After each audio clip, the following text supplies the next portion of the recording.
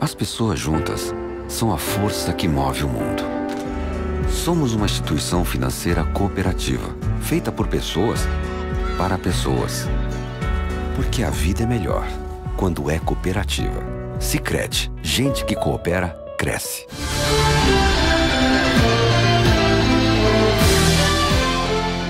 No dia 27 de setembro é comemorado o Dia Mundial do Turismo. Na manhã desta quinta-feira, a Secretaria de Turismo, Esporte e Lazer do Rio Grande do Sul realizou um evento no Palácio Piratini e apresentou as ações que serão desenvolvidas no estado em comemoração à data. De acordo com o secretário Juvir Costela, o objetivo é mostrar os potenciais turísticos do Rio Grande do Sul.